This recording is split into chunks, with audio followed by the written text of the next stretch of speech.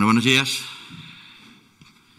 Pasamos a relatar eh, los asuntos tratados en el Consejo de Gobierno de la Junta de Castilla y León de hoy, 14 de mayo de 2020.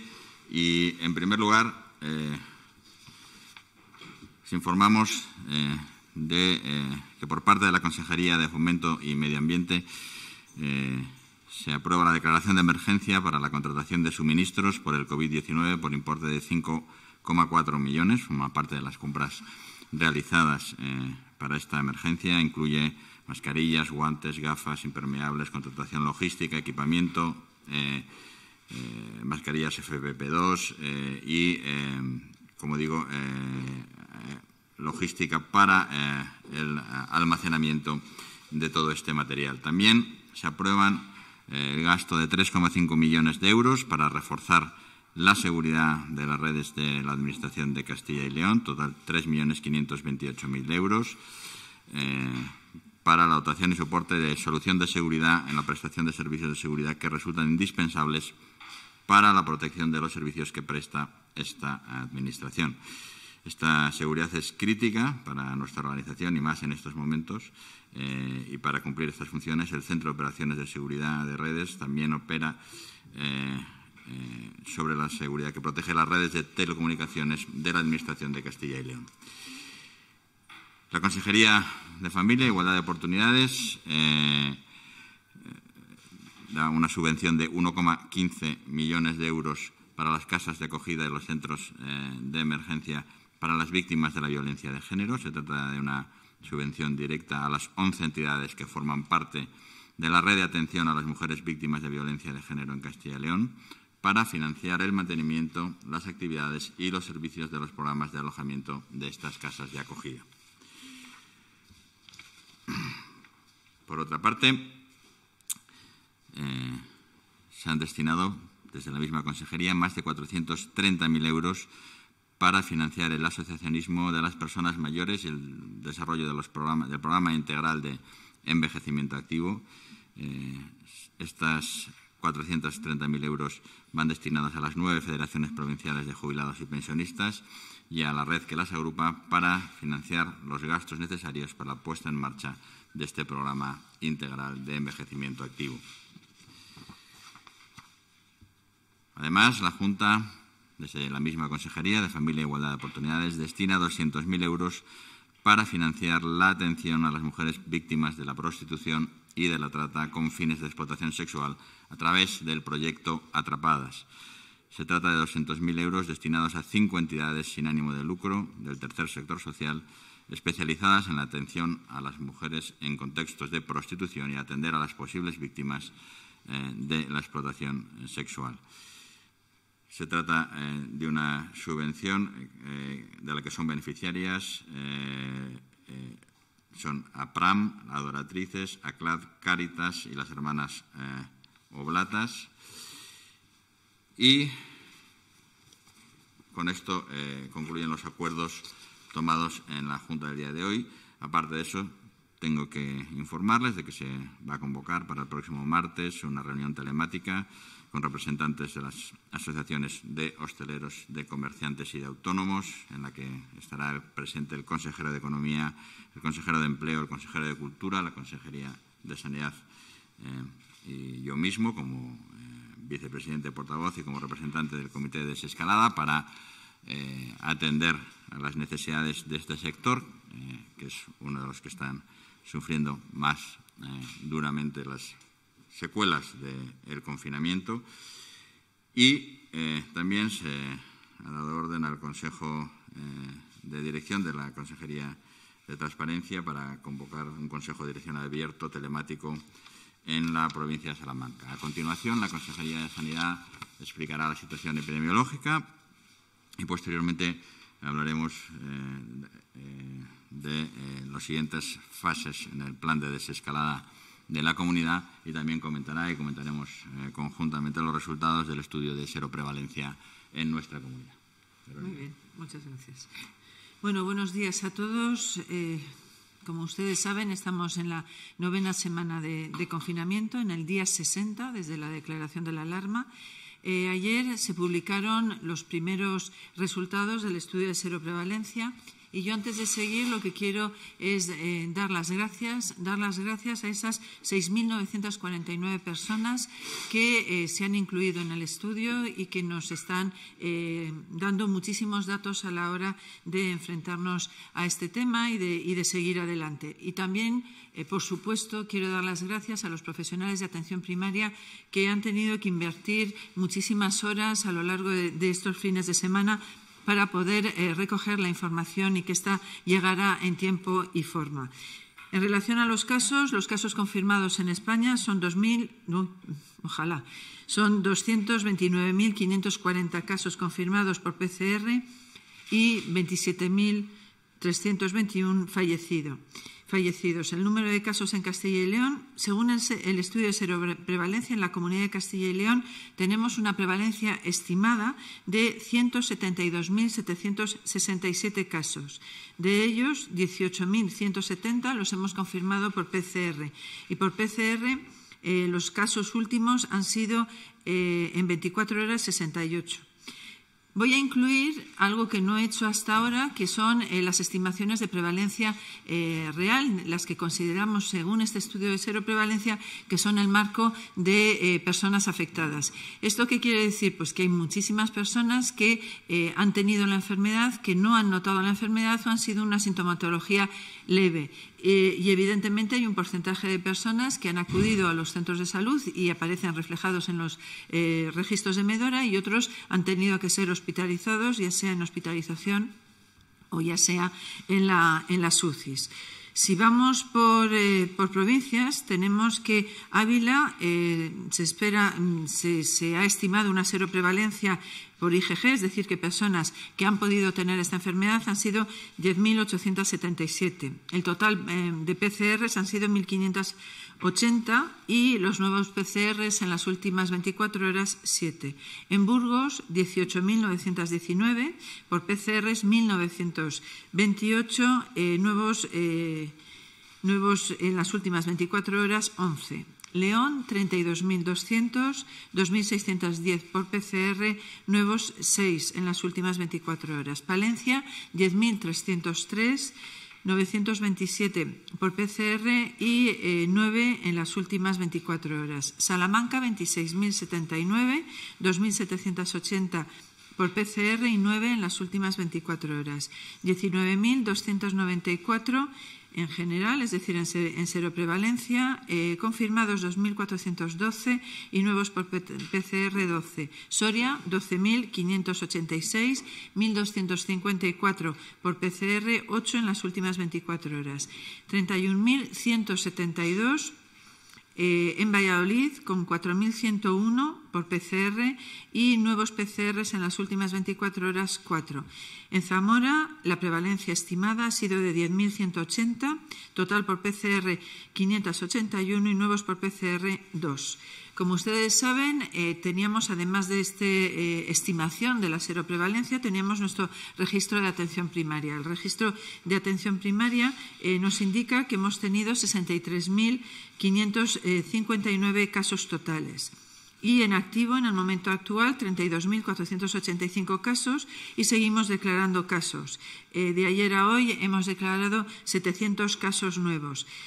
Esto en relación a la prevalencia estimada supone que un 37% de eh, la población ha eh, tenido lo que denominamos morbilidad expresada, es decir, que en algún momento ha tenido síntomas que le han hecho solicitar ayuda a sus equipos de atención primaria.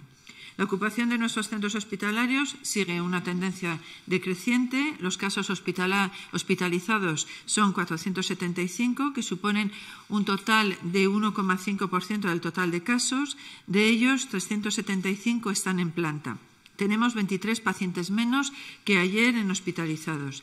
En los casos de UCI tenemos 100 casos, 100 personas que están eh, ingresadas en nuestras UCIs, suponen un 21,1% del total de hospitalizados. Tenemos 7 pacientes menos que ayer en las UCIs.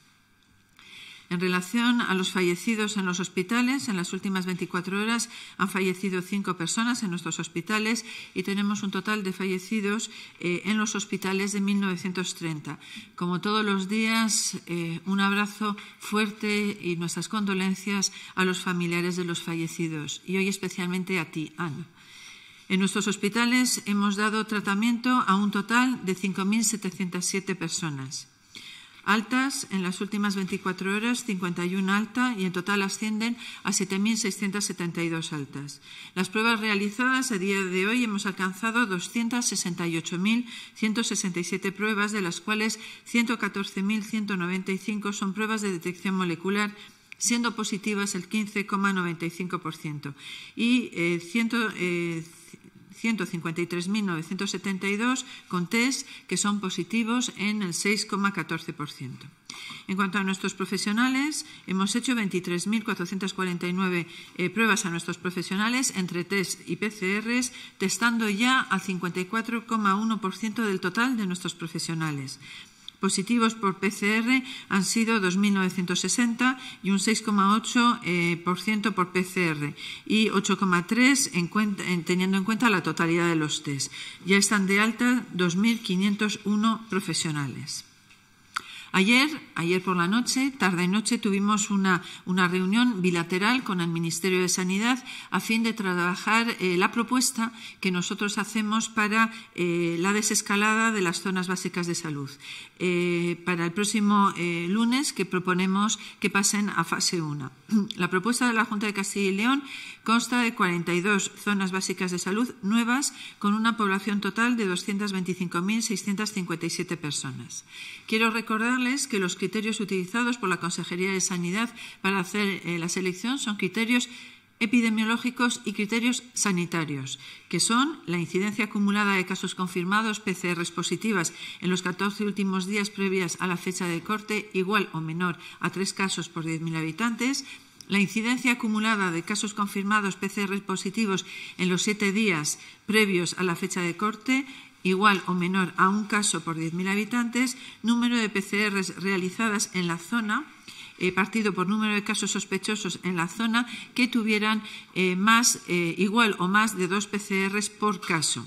A estos criterios les unimos una serie de requisitos. Profesionales de referencia para la vigilancia epidemiológica en los centros de salud, al menos uno por 5.000 habitantes, que existan los protocolos para la formación y luego formación a lo largo de estos días recibida en los centros de salud para las actuaciones en el registro de casos y rastreo de contactos, protocolo y plan para asegurar el manejo de las residencias de personas mayores, equipos de protección individual suficientes en todos, estos eh, centros de salud y hospitales donde se, pasa a la fase 1, pero evidentemente también en la fase 0.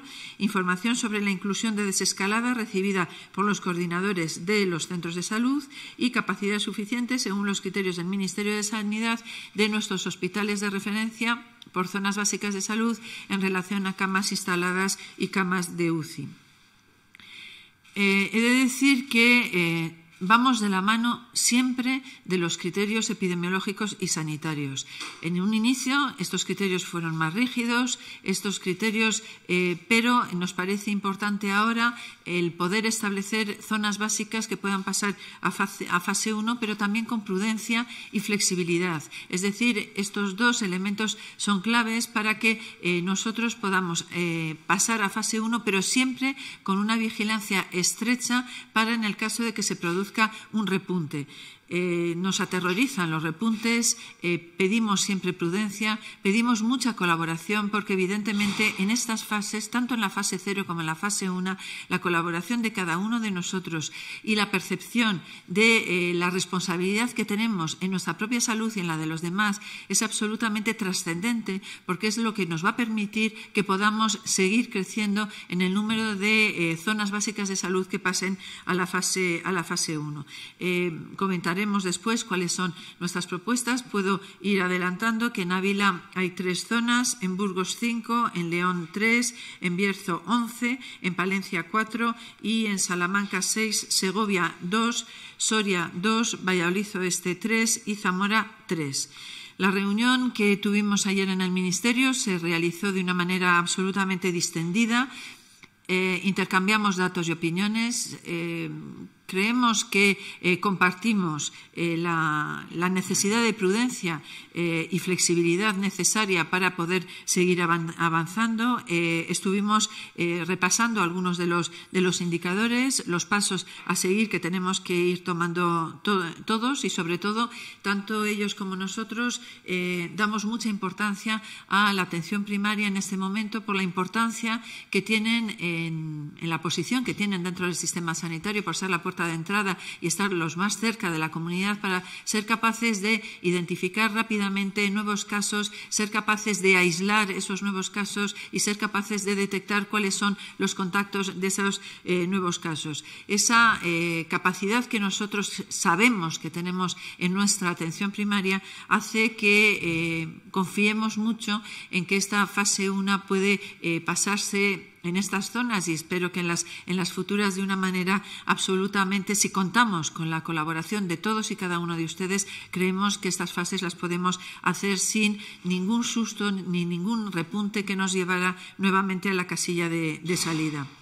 Ayer por la tarde, como he dicho, se publicaron los resultados preliminares del, del estudio de, seroprevalencia, que comentaremos después. Hago unos pequeños apuntes iniciales en cuanto a que eh, nosotros hemos eh, contribuido a esas 60.000 personas con 6.949 habitantes, eh, que tenemos una tasa de prevalencia superior a la media, a la media nacional pero que aún teniendo una, tasa de seroprevalencia mayor que la media nacional, no es una tasa de seroprevalencia que nos permite decir que eh, estamos protegidos. Ni siquiera en Soria, que tienen más de un 14% de seroprevalencia, es decir, que han eh, pasado la enfermedad eh, un número importante de personas, no podemos decir que esa sea una tasa que nos proteja, que tenga esa inmunidad de población que necesitaríamos para no estar asustados, que sería en torno al 60-70% eh, de los casos.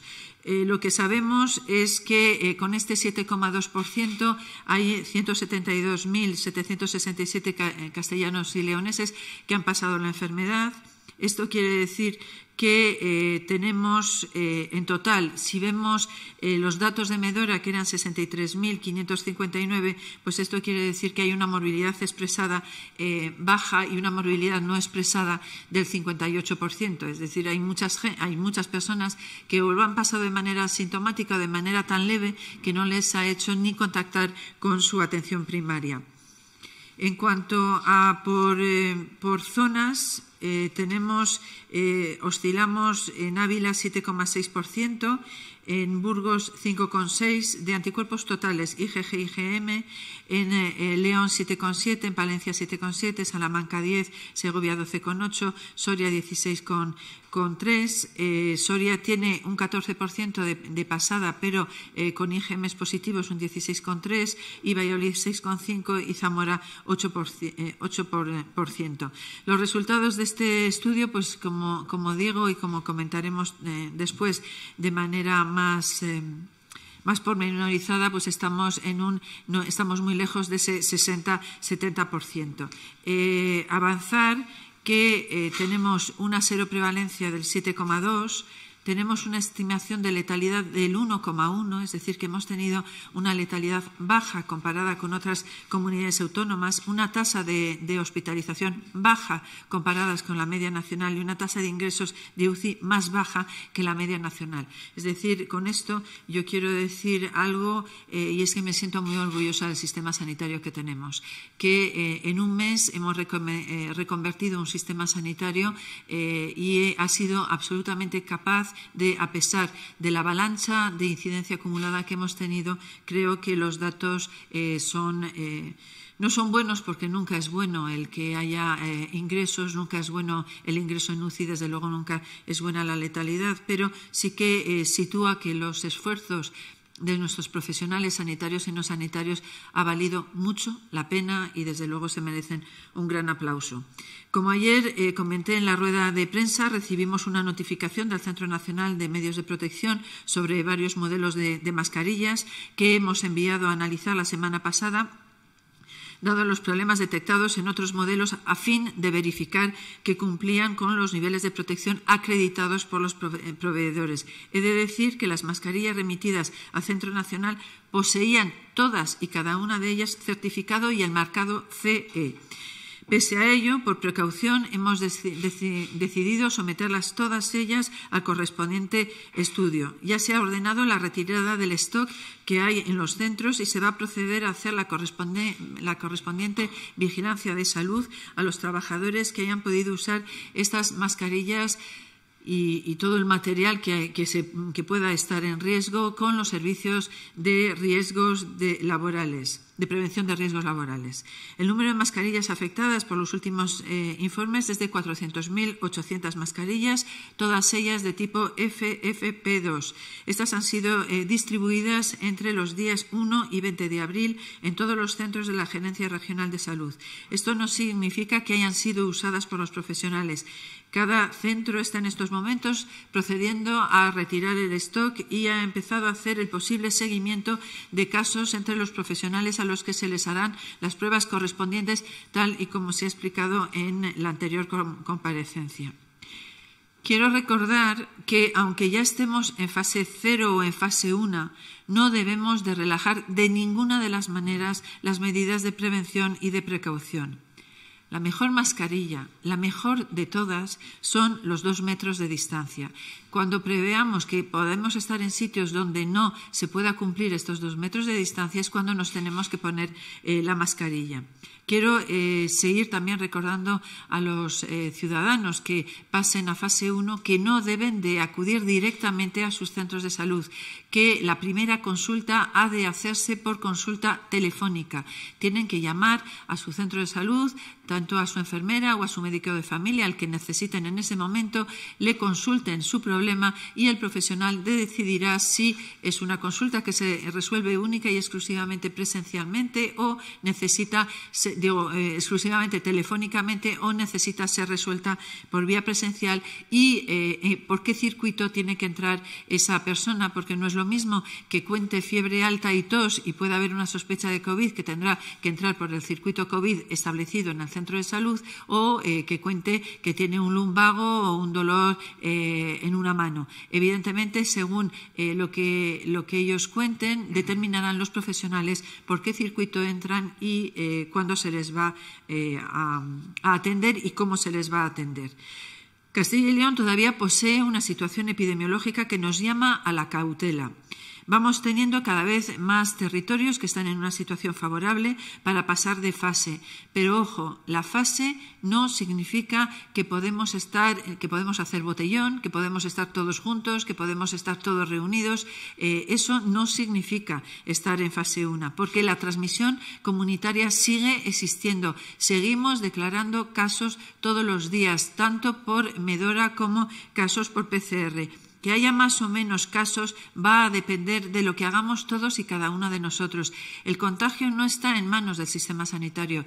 Eh, el evitar el contagio está en nuestras manos, en las manos de cada uno de nosotros. Por lo tanto, hay que seguir manteniendo las medidas de prevención y de protección hay que lavarse las manos. La higiene de manos es fundamental y si no tenemos agua y jabón, que es lo fundamental, gel hidroalcohólico para eh, de vez en cuando proceder a la limpieza de nuestras manos. Cuidado con la higiene respiratoria y cuidado con la distancia social de dos metros. Sigue siendo absolutamente importante que lo hagamos.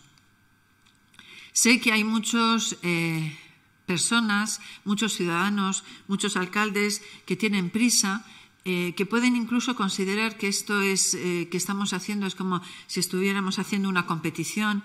Aquí la única competición que tenemos es contra el coronavirus. Es el único con el que tenemos que competir. No estamos compitiendo entre zonas. Tenemos que seguir avanzando con cautela. Tenemos que ser pacientes. Pedimos paciencia, pedimos cautela y estoy absolutamente segura que con los datos que tenemos vamos a poder ir más rápido. Pero es muy importante eh, primar en estos momentos seguir siendo cautelosos, eh, seguir siendo prudentes, porque esto nos va a permitir hacer las cosas de manera mucho más segura y, desde luego, mucho más eh, efectiva y eficiente para todos nosotros. Muchísimas gracias. Bien. Bueno, eh, tenemos aquí ya los resultados del estudio seroprevalencia, estudio que dijimos desde un principio, de acuerdo con el Ministerio, era un estudio esencial para varias cosas, para el planteamiento de la desescalada, para conocer eh, el grado de inmunidad eh, y lo que había sucedido realmente, pero también para valorar nuestras estrategias y para valorar el resultado de nuestras estrategias. El estudio tiene eh, varios aspectos positivos, varios aspectos que hay que, analizar y alguno pues que nos preocupa especialmente. En primer lugar, quiero decir que la, la situación en Castilla y León es eh, pues de una seroprevalencia del 7%. Eh, somos la tercera comunidad eh, en seroprevalencia, eso quiere decir que somos la tercera comunidad en número de personas que han pasado la enfermedad. la seroprevalencia es claramente insuficiente, como muy bien ha explicado la consejera. no se considera que hay inmunidad colectiva. Me gusta mucho la palabra inmunidad de rebaño, que es la palabra técnica, pero eh, eso está alrededor del 60%, pues calculen estamos, cuán alejados estamos de esa situación. ¿Qué quiere decir eso? Eh, que, caminamos sobre un sitio peligroso, que caminamos sobre eh, un sitio que puede producir en cualquier momento un nuevo rebrote y un nuevo pico de enfermedad. Y que si alcanzar el 7% de seroprevalencia nos ha costado 3.000 muertos, las cuentas las puede hacer cualquiera. este es esta es la realidad. ¿eh? Pero la realidad tiene cosas buenas y yo eh, quiero eh, poder explicarlas. La realidad dice que nuestra estrategia sanitaria ha funcionado de una manera razonable. No podemos estar contentos, y yo creo que esto lo repetimos hasta la saciedad. Hay 3.000 muertos, no podemos estar contentos, nadie puede estar satisfecho ni es nuestra intención. Pero con esta eh, seroprevalencia, con eh, una población muy envejecida, eh, tienen que tener en cuenta que la mortalidad se multiplica de manera exponencial por encima de los 65 años, que nosotros tenemos una población cinco puntos por encima de lo que tiene, por ejemplo, la Comunidad de Madrid por encima de los 65 años, que la mortalidad alcanza el 20% por encima de los 90 años, que se multiplica por encima del veintitantos por encima de los 65, de los 75. Nosotros hemos conseguido que nuestra tasa de hospitalización eh, esté por debajo del 5%, que nuestra tasa eh, de eh, ingreso en UCI esté entre las más bajas de España, el 0,32, teniendo una letalidad muy baja, es decir, es una letalidad para nuestra población, para nuestra población baja. ¿Qué quiere decir eso? Pues que la estrategia de atención primaria, de tratamiento domiciliario, de tratamiento en las residencias ha sido una estrategia que se ha demostrado comparativamente eh, más efectiva. Tenemos que buscar y analizar ahora con estos datos eh, qué tratamientos han ido mejor, hacer un estudio retrospectivo sobre qué cosas, eh, en qué cosas hemos acertado, en qué cosas hemos fallado, dónde están nuestros grupos que tienen los mejores resultados, dónde están nuestras estrategias que tienen los mejores resultados. Pero esta es la manera racional de enfrentarnos a, la epidemia. La epidemia no entiende de provincias, de fronteras, de nacionalismos. Cuando el otro día alguien nos preguntaba pues, sobre lo que ocurre en Miranda, sobre lo que ocurre en otro sitio, mire, nosotros lo que nos preocupa en Miranda, lo que nos preocupa a nuestra población es que nuestra tasa de letalidad siga siendo más baja en Burgos, que nuestra tasa de incidencia siga siendo más baja y que nuestra estrategia siga siendo mejor. Y los datos así lo dicen. ¿eh? Y los datos. Eh, de letalidad, de seroprevalencia, de complicaciones, de ingresos en UCI, de hospitalizaciones, así lo dice. Y eso es lo que nos importa. ¿eh? Y eso es lo que queremos sacar eh, en conclusión de este estudio. Por eso, con este estudio, eh, nosotros vamos también a modular nuestra estrategia de respuesta. Este es el mapa de mortalidad que ya habíamos visto con anterioridad. ¿Cuál es nuestra estrategia eh, de desescalada. Nuestra estrategia de desescalada se resume en una sola frase, como decía el gobernador de Nueva York, seguir a los números. Vamos a seguir a los números. Vamos a poner tasas eh, de incidencia, vamos a eh, desescalar cuando estemos seguros de que los hospitales pueden responder eh, a las necesidades que se pueden crear si hay un rebrote. Vamos a abrirlo progresivamente y vamos a desinflar este globo que está tan inflado poco a poco, intentando que no se nos vaya de las manos, intentando que no nos explote. Esa es eh, la manera racional de enfrentarnos a la desescalada. Es verdad, y nos lo han dicho eh, estos días, y por eso hemos convocado esa reunión con comerciantes, hosteleros, eh, que hay un aspecto económico que nosotros tenemos obligación de valorar como gobierno. Pero queremos insistir que la peor estrategia, económicamente hablando, sería tener que volver al confinamiento. Eso sería una estrategia ruinosa para comerciantes, para hosteleros, para empresarios y para todo el mundo. Y que no hay ninguna, ninguna estrategia que valga eh, eh, una vida humana. Cuando estamos hablando que nosotros tenemos un 0,1% más o menos de mortalidad, puede sonar frío. Un 1% de mortalidad eh, son 1.700 personas en esta comunidad. Un 0,1 son 170 personas. 170 seres humanos. Cada 0,1 que nosotros nos da tanta alegría, no nos da alegría porque es un 0,1, nos da alegría porque son centenares de personas que no han perdido la vida gracias a tener una estrategia razonable, a tener una estrategia eh, más efectiva. Y eso es lo que vamos a hacer. Vamos a intentar copiar las mejores estrategias, vamos a intentar eh, que la desescalada eh, nosotros vayamos siguiendo los números. La propuesta incluye por primera vez eh, un área entera de salud, que es el área del Bierzo, incluye el Bierzo y la Ciana, y es así porque su incidencia acumulada durante las dos últimas semanas, como ha dicho la, la consejera, lo permite. Y es así porque el Hospital del Bierzo y el estado eh, de eh, ocupación de la UCI y de las plantas lo permite. Eh, y no es por ninguna otra razón, y eso es, queremos que la gente entienda que estos son los criterios que vamos a seguir durante todo este proceso. Flexibilizaremos, permitiremos una incidencia mayor o menor, tomaremos una decisión, pero siempre será con un criterio objetivo. Vamos a proponer, eh, como he dicho, un área entera, ¿eh? pero en total eh, son 40 días y ahora será, este es el momento donde no sé dónde he dejado la sábana. Con las áreas, las tienes ir la sábana con las áreas enteras.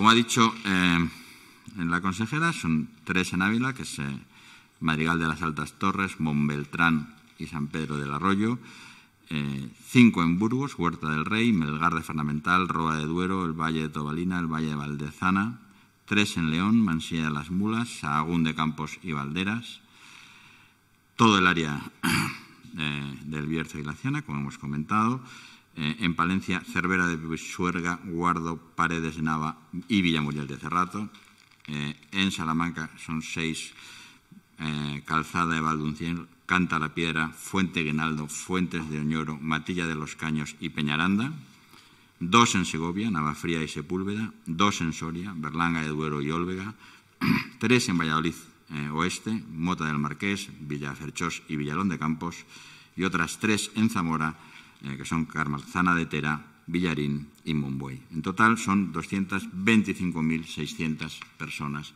las que pasan a fase 1, eh, si el Ministerio acepta nuestra propuesta. Eh, porque hay que dejar claro que esto todavía está pendiente de la aprobación del Ministerio. Es verdad que la reunión de, ayer fue una reunión mm, eh, muy positiva en la que, he de decir, se, elogió el trabajo de, la Consejería. El trabajo de la Consejería de Sanidad está siendo un trabajo muy bien valorado en el Gobierno y sobre todo muy bien valorado eh, por sus resultados. Los resultados están ahí, los números están ahí. Eh, hay que mejorar, vamos a mejorar, vamos a tener mejores resultados, vamos a avanzar. Y lo que queremos decirles a, los ciudadanos de esta comunidad es que eh, vamos a completar este puzzle. Este puzzle va a estar entero, pintado de verde, en pocas semanas. En pocas semanas. Pero no vamos a correr porque debajo de este puzzle, en cada zona de salud, lo que hay son seres humanos. y nuestra responsabilidad, la responsabilidad eh, de esta Junta, es intentar que lleguemos los más posibles a este mapa entero pintado de verde. Esa es nuestra estrategia, eso es lo que vamos a hacer y, nosotros estamos convencidos y, por otra parte, muy agradecidos del apoyo eh, que se nos ha dado desde la sociedad civil. Eh, de decir que durante estos días es verdad que hay gente que nos solicita que vayamos más deprisa, pero también es verdad que hay una inmensa mayoría de la población eh, que nos felicita y que nos apoya en esta estrategia. Y sobre todo quiero recordar muy especialmente a todos los profesionales sanitarios que son quienes han visto de verdad eh, qué significa el coronavirus, qué significa para las personas el coronavirus y que saben eh, que serán ellos los primeros eh, que sufrirán si nosotros damos un traspié o vamos más deprisa de, lo que, de lo que es necesario. Es seguro que tendremos algún traspié, es seguro pues que habrá algún pequeño rebrote con esta seroprevalencia sabemos que caminamos sobre un terreno minado, pero vamos a caminar despacio, vamos a caminar con prudencia, pero vamos a caminar, vamos a avanzar. Estamos avanzando, hoy por fin sale una de las grandes ciudades de, la comunidad, eh, se propone fase 1, un área entera de salud, y estén convencidos de que vamos a salir de aquí, de que el verano se acerca, las temperaturas nos van a ayudar. Eh, y este verano todos vamos a poder pasear por nuestros campos y por nuestras tierras y ver a los nuestros. Iniciamos entonces el turno de preguntas a partir de este momento. Vamos a, a iniciarlo con el portavoz y vicepresidente. Alejandro Sierra, Canal 54. En base a los criterios que mantiene la Junta, ¿qué plazo maneja o estima el Gobierno autonómico para que las ciudades y grandes núcleos pasen de fase? ¿Hablamos de semanas o meses? Y se agradecería concreción. Bueno, yo sé que se agradecería la concreción, se agradecerían mucho más aún las, fechas concretas, pero lo que no hemos hecho durante estos dos meses, desgraciadamente, eh, no lo vamos a hacer hoy. Eh, queda poco. ¿eh? Yo creo que en pasados los siguientes 15 días, en las siguientes eh, semanas, vamos a, poder proponer ya eh, áreas completas y, provincias completas, pero tenemos que seguir a los números, es lo que hemos dicho, vamos a seguir a, los números cada semana. Se han producido medidas de desconfinamiento estas semanas atrás que hay que, que, hay que valorar. Estamos viendo una buena evolución, pero se, no una caída, sino más bien nos mantenemos eh, permanentemente con una cifra de, contagios baja, pero, pero no cero. Por tanto, no podemos adelantarlo. Esperamos que el mapa sea mucho más verde la semana que viene, las siguientes semanas, pero no podemos decir más. Eugenio de Ávila, el día de Zamora. Preguntamos con las dos opciones, pues imaginamos que se aclarará antes de las preguntas. ¿Por qué Zamora, Toro y Benavente se han considerado preparadas para la fase 1 o no? ¿La ciudadanía cree que ahora la incidencia se centra en las residencias? ¿Es eso cierto? Bueno, la incidencia eh, ahora y siempre de, enfermedad grave eh, ha estado centrada en las personas mayores, de, enfermedad sintomática y enfermedad grave. Eh, todos los modos de vida colectiva, como hemos dicho, eh, de manera reiterada son los más expuestos en, la, en, una epidemia. La gente que vive en comunidad corre más riesgo eh, epidemiológico. Eso se ha reflejado en todas las provincias. Y, eso eh, no quiere decir que no sea importante, todo lo contrario. Todo lo que ocurre en las residencias para nosotros es lo más importante. Son las personas más importantes para nosotros. Decir, que algún comentario eh, desafortunado se ha hecho a este respecto, eh, son las personas más importantes. Si alguien me pregunta quién es la persona más importante, les diré sin duda alguna que mi madre. ¿eh? Son las personas más importantes. en Zamora, Toro y Benavente, ¿por qué no han pasado? Porque no cumplen criterios. Porque no cumplen criterios, no por otra razón. Roberto Mallado, Onda Cero. ¿Comparte la opinión del presidente del Tribunal Superior de Justicia de Castilla y León quien ha dicho hoy que el Gobierno se está extralimitando en las competencias que le permite el estado de alarma y que se dedicó a pedir, o se decidió, perdón, a pedir los datos de fallecimientos porque no le cuadraban las cifras oficiales? Bueno, eh, el presidente del Tribunal Superior de Justicia ha hecho lo que nosotros pedimos. Nosotros pedimos que se hicieran públicos los datos del registro, por lo cual no podemos sino felicitarnos de que lo haya hecho el presidente del, Tribunal Superior de Justicia, de decir que los datos globales de mortalidad que nosotros publicábamos desde hace ya días superaban los 3.200, coinciden esencialmente con los publicados eh, con el Tribunal Superior de Justicia. Hemos explicado y hemos tratado de explicar y volveré a explicar hoy mismo la diferencia entre la mortalidad que publica el Ministerio, que es la que se nos pide, que es la mortalidad en hospitales. Eh, tenemos que mandar la misma mortalidad que mandan el resto de comunidades autónomas para poder compararnos, ¿eh? pero que nosotros, además de esa mortalidad, que es la oficial, la que se nos solicita de forma oficial por el Ministerio, siempre hemos tenido el interés de publicar toda la mortalidad y que eso se refleja en la concordancia entre los datos que nosotros hemos presentado durante estas semanas en nuestra página de transparencia y los datos que afortunadamente ha presentado eh, el presidente del Tribunal Superior de Justicia, al cual eh, no podemos sino agradecerle que haya hecho aquello que nosotros pedimos en su día al Ministerio eh, de Justicia sobre la opinión sobre si se extralimita a alguien o no en las competencias.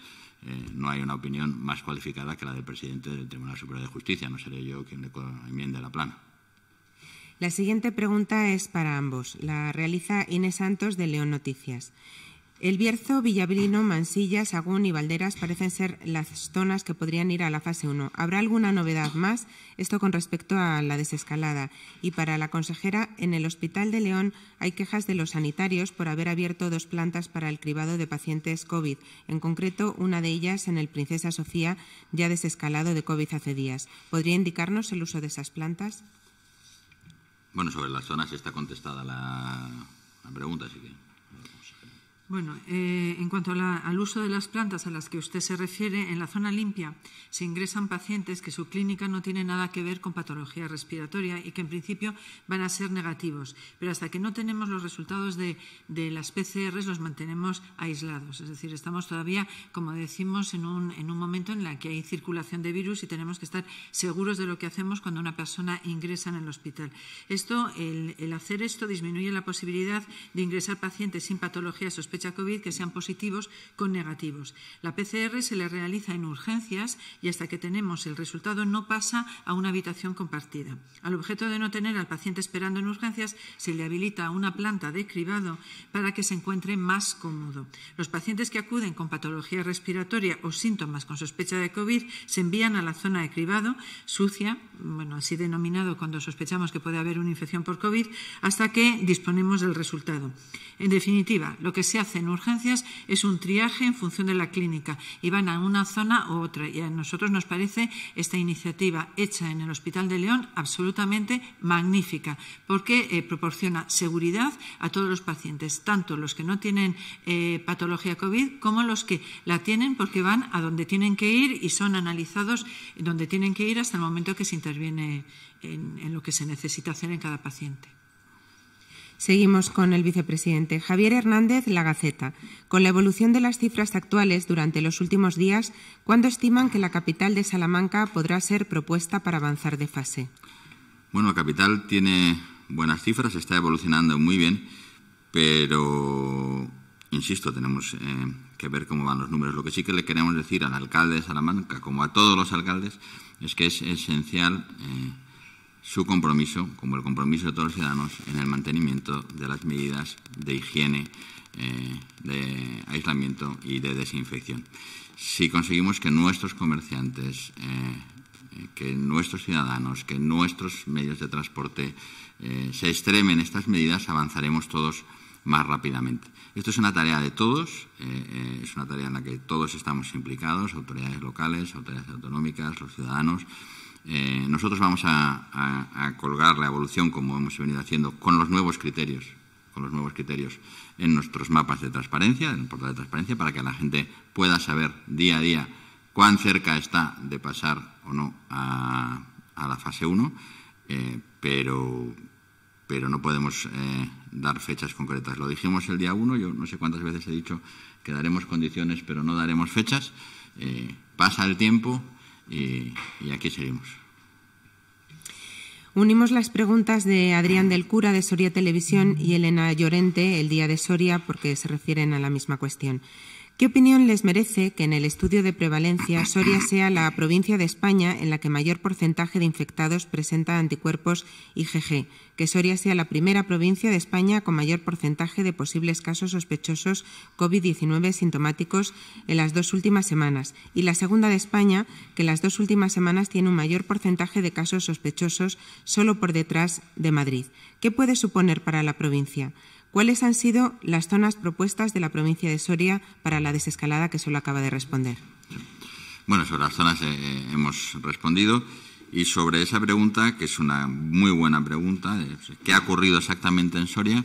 Eh, he de decir que el estudio de seroprevalencia eh, nos ha abierto unos cuantos interrogantes y este probablemente es uno de los más importantes.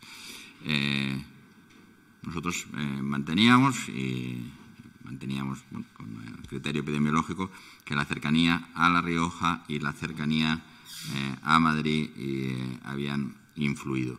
Pero el alto porcentaje de seroprevalencia eh, en Soria y sobre todo el sorprendentemente bajo de La Rioja y el, sorprendente, y el bajo de Madrid nos hacen que tengamos que replantearlo.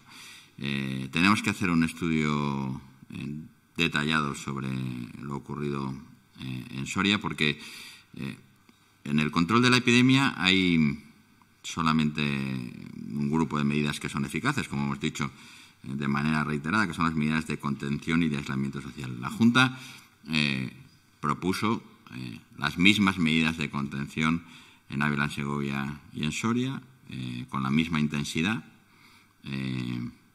y, y tenemos que ser capaces de analizar qué ha pasado, por qué, eh, por qué en Soria tenemos estas cifras. No son muy superiores a las de Segovia, son más superiores a las de Ávila, pero tenemos que ser capaces de analizar si nuestra capacidad de comunicación, si algo ha fallado, si la contención ha fallado por alguna razón, si hay alguna explicación sociológica, política, administrativa, de alguna administración, de, nuestra manera de comunicar las cosas o de nuestra capacidad de comunicar las cosas y las propuestas de contención y de higiene en esa provincia ha fallado. Eh, si no nos planteásemos eh, si hay algo equivocado desde el punto de vista epidemiológico. Pero también tiene una muy buena noticia para Soria y eso ya lo anunciamos el otro día en el Parlamento y quiero repetirlo hoy aquí, que es que tiene una de las tasas de letalidad más bajas eh, de toda la comunidad.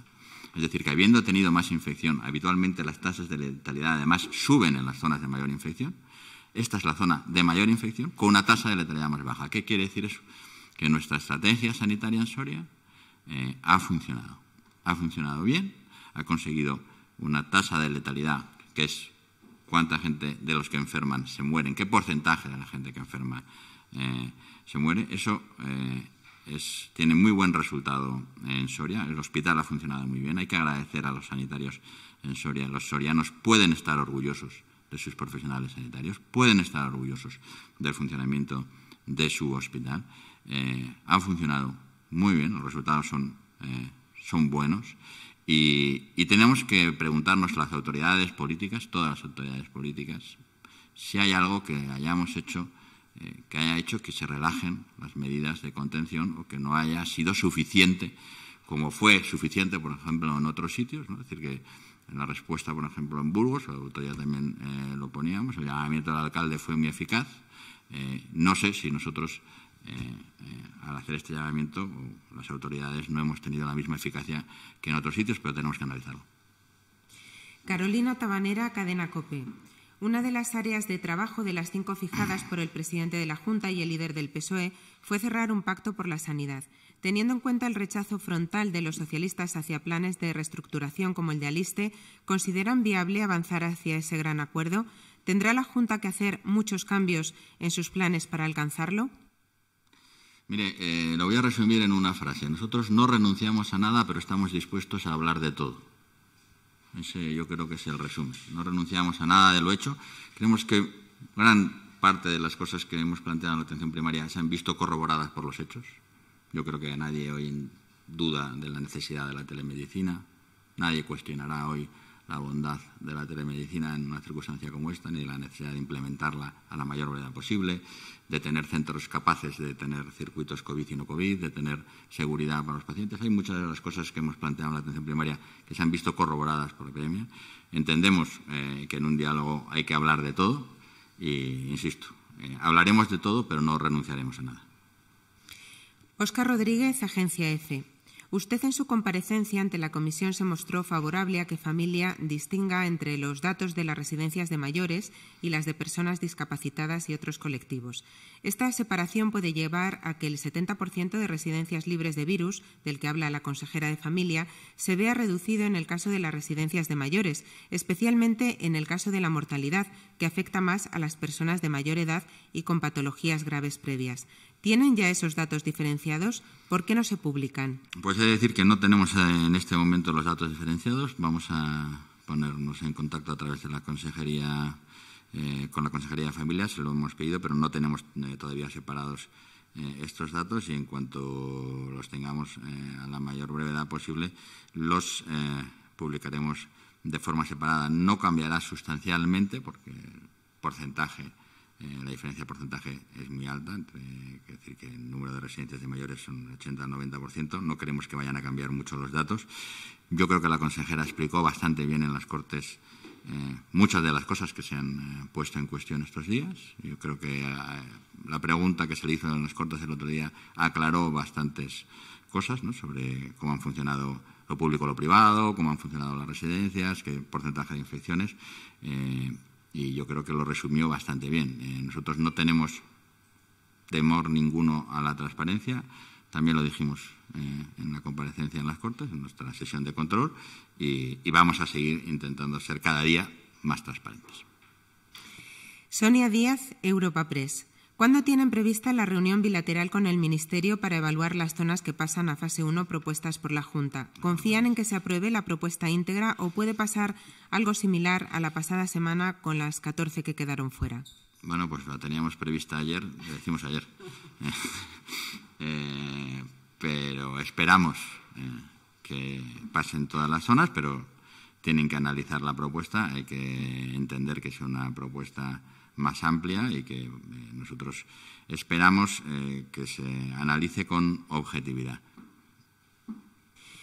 Silvia García, Noticias Castilla y León. En vista de los bajos índices de prevalencia de infección del nuevo coronavirus en España y también en Castilla y León, y teniendo en cuenta que solo con el 5% de infectados el Sistema Nacional de Salud ha estado al borde del colapso, parece impensable llegar al 60% que garantizaría la inmunidad de rebaño. Además, la Organización Mundial de la Salud advierte de que la COVID-19 podría no irse nunca. Sin vacuna y sin inmunidad de grupo, ¿qué opciones nos quedan? ¿No es la desescalada una huida hacia adelante?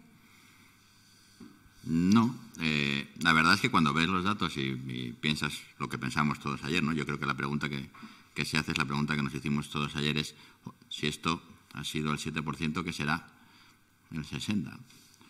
Eh, pues es una pregunta bastante razonable eh, y por eso nosotros tenemos que cambiar nuestra estrategia de desescalada. Pero hay que analizar todos los datos en su integridad. Sabemos dónde se acumula la gravedad, sabemos qué estrategias hemos tenido que son eficaces, tenemos que incidir en la protección de quienes eh, pasan la enfermedad con eh, mayores síntomas, con mayor gravedad, hacer una segmentación eh, más precisa, insistir a nuestros mayores, insistir a los mayores de 65 en las necesidades de, la protección individual, protegerlos más, eh, hacer una desescalada que nos permita eh, hacerlo de una forma gradual. Quizá cambiemos a hacerlo más rápido a, la vista de los datos, sorprendentemente, pero tenemos que plantear la estrategia con los números. Y les insisto, hoy estamos mucho mejor que ayer. Yo siempre le decía esto a, los enfermos, cuando das un diagnóstico, aunque sea un diagnóstico malo, siempre estás mejor que ayer, porque ya sabes lo que pasa. Ya tienes eh, el diagnóstico. Ya sabemos lo que pasa. Y ahora lo que tenemos que hacer es ponernos a diseñar la estrategia más racional para, eh, enfrentar en los próximos meses. Sabemos que los meses de invierno son duros, que viene la gripe, que vamos a tener que vacunar a la gente, que tenemos que tener la trazabilidad eh, mucho más controlada, que nuestra capacidad de PCR igual tiene que, incrementarse. Bueno, hay que hacer cambios en la estrategia, pero hoy, y porque no me gustaría que la gente fuese pesimista, eh, eh, hoy estamos mucho mejor que ayer. Hoy tenemos diagnóstico. Jorge Alonso, Agencia ICAL. ¿Le parece necesario que la prórroga del estado de alarma se aplique durante un mes para acompañar al plan de desescalada, como propone el Gobierno a los grupos políticos? ¿Es necesaria esta medida hasta el final del proceso para la vuelta a la nueva normalidad? ¿Cree que su partido debería volver a negociar su apoyo a este marco normativo para que se mantengan las restricciones de movilidad y el mando único? Bueno, eh, yo creo eh, que hay instrumentos normativos eh, para hacer otras cosas. Nosotros creemos que en este momento es importante mantener la restricción de movilidad y la restricción de derechos y eso fuera del estado de alarma eh, es complicado. De hecho, hace tres preguntas eh, el presidente del Tribunal Superior de Justicia decía que incluso en estado de alarma eh, estamos extralimitándonos. Por tanto, algo que no está claro jurídicamente pues es difícil que estuviera más claro eh, sin estar en un estado de alarma. ¿eh? Pero bueno, esa es una discusión eh, jurídica. Nosotros, desde el punto de vista de la estrategia de desescalada, es necesario mantener la restricción de la movilidad. Es necesario mantener instrumentos que nos permitan dictar confinamientos si es necesario. ¿Y qué instrumento jurídico? el estado de alarma es uno, se puede construir otro instrumento jurídico. La ley de salud pública permite algunas cosas, pero no permite todas. Hay discusión jurídica, efectivamente, sobre si esto eh, es extralimitarse o no.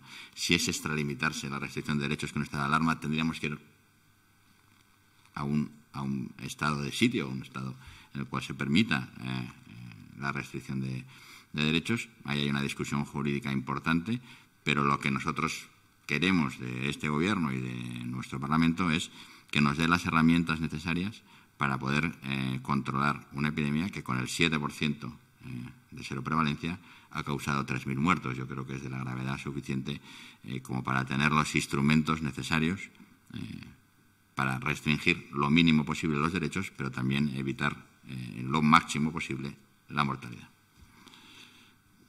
Pues vamos ahora con las preguntas dirigidas a la consejera de Sanidad. Tamara Hernández es Radio Castilla y León. Sanidad estudia obligar llevar mascarilla a todo el espacio público. Parece ser que el Ministerio ha pedido opinión a las autonomías para imponer o no el uso de esta protección más allá del transporte durante la desescalada del, del confinamiento. ¿Cuál es la postura de Castilla y León? ¿Creen que es viable esta medida teniendo en cuenta que habría que facilitar un mayor número de mascarillas? Bueno, eh, yo quiero referirme a, las palabras del doctor Simón, eh, que decía que la mejor mascarilla, la mejor de todas, es la distancia social. La mascarilla en aquellos sitios donde no podamos garantizar la distancia social nos sirve, evidentemente, pues para evitar que, eh, esas gotitas que nos pueden llegar eh, a nuestra nariz, a nuestros ojos, a nuestra boca, pues evitar que nos, que nos lleguen y, por lo tanto, tener, tener más seguridad. Pero eh, es evidente que esa es la mejor, esa es la mejor medida. El Ministerio lo está estudiando y vamos a esperar la decisión que, ellos tomen. el problema es el abastecimiento y, sobre todo, yo creo que hay una cosa que hay que dejar muy clara es, primero, el uso adecuado y correcto de las mascarillas y, segundo, el tipo de mascarillas que tenemos que utilizar según el sitio en el que estemos. Yo, por ejemplo, no considero para nada adecuadas el uso de FFP2 para eh, personas que están, que están por la calle, porque evidentemente pues no, no es, es, es desaprovechar una utilización que es mucho más necesaria dentro del sistema sanitario que fuera de él. Gadía Gutiérrez, Diario de Burgos. Trabajadores del UBU vuelven a alertar de escasez de guantes de nitrilo y en el Santo Reyes advierte la gerencia de problemas de suministro con los EPIs. ¿A qué se debe esta situación? ¿Cuándo se va a solucionar? Bueno, pues volvemos otra vez a tener un tema preocupante y un tema preocupante que no solamente es Castilla y León, no solamente es a nivel nacional, sino a nivel mundial. Volvemos a tener problemas de eh, estocaje a nivel internacional y problemas con la materia prima. Eh, hay un déficit en estos momentos de caucho y, por lo tanto, hay déficit eh, y problemas para, bueno, esto, problemas para el suministro de los guantes esto, evidentemente, nos genera inquietud. Yo lo he planteado ya un montón de veces en el interterritorial y ya he conseguido que preocupe a más consejeros que, que no solo a mí, porque eh, bueno, tenemos un problema con eso, lo hemos comunicado y eh, ¿eso qué quiere decir? Pues que tenemos que ser también cautelosos con el uso que hacemos. Eh, no podemos, cuando no sea imprescindible ponerlo y ponerlos y quitarlos de, mala manera, es decir, los tenemos que utilizar bien. Desde luego, desde Castilla y León vamos a hacer lo que hemos hecho siempre, que es echar todo en el asador para intentar eh, conseguir el mayor número de eh, equipos de protección del tipo que, del tipo que sean. Eh, para el UBU se ha hecho un, pedido de 8,5 millones de guantes y lo eh, previsto es que lleguen dos millones de, guantes a partir del lunes 18. Entonces, nosotros seguimos con, nuestras compras, pero también bueno, hemos eh, querido también ponernos en contacto todos juntos para intentar explorar el mercado internacional. Y por lo que respecta al Hospital de Aranda, en la actualidad no hay problemas de suministros de EPIs y seguiremos trabajando eh, para, que, para que los tengamos, para que tengamos todos los equipos de protección individual. Yo creo que una de las grandes obsesiones que, ha tenido, que hemos tenido en la Consejería de Sanidad y en el Gobierno ha sido la protección de nuestros profesionales y, desde luego, seguimos en ello. Jorge Alonso, de la agencia ICAL, le plantea una pregunta que también le han hecho al vicepresidente y es que, una vez conocidos los datos del estudio de seroprevalencia, si esto cambia los planes de la Junta para afrontar las fases de la desescalada y la inmunidad más alta de Soria y otras provincias se acelera o frena el salto de fase. Y, por otro lado, si existe capacidad similar en todas las provincias y zonas básicas de salud para hacer pruebas PCR. ¿Se han contratado rastreadores para llevar a cabo esta tarea en algunos puntos de la comunidad? Bueno, eh, vamos a ver, en relación al estudio de seroprevalencia, yo creo que lo hemos, lo hemos comentado. Eh, en principio, el estudio de seroprevalencia lo que nos da es mucha más luz, pero desde luego no afecta a la desescalada y mucho menos con un 14% de máximo que tenemos de, eh, de, inmunidad adquirida. Por lo tanto, como se ha dicho aquí, la inmunidad colectiva está muy lejos, que es un 60-70%, por lo tanto, no va a afectar en cuanto a la prudencia que tenemos que tener a la hora de, desescalar. En cuanto a si existe capacidad similar en todas las provincias para PCR, hay otra de las obsesiones también que hemos tenido y es eh, trabajar en red y nos ha ido bien. Trabajar en red significa que eh, si yo soy autónomo y puedo, lo hago yo, pero si en algún momento necesito de alguien, alguien en la comunidad autónoma, un hospital, otro hospital va a ayudarme o incluso una universidad va a ayudarme para eh, poder dar esos resultados. En relación a esto sí que puedo decir que todas las provincias